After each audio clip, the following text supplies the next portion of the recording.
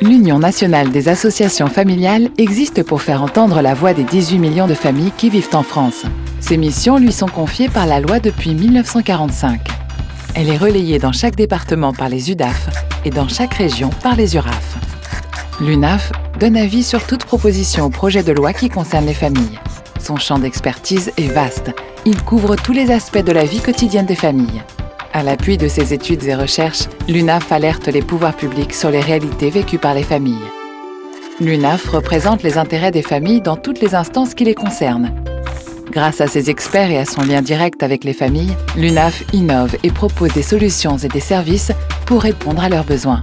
Près de 70 services sont portés par le réseau des UDAF, comme la médiation familiale, l'accompagnement de publics vulnérables ou les points conseil budget. L'UNAF rassemble 99 unions départementales, 13 unions régionales, 26 mouvements familiaux, 44 organismes associés et 7000 associations locales.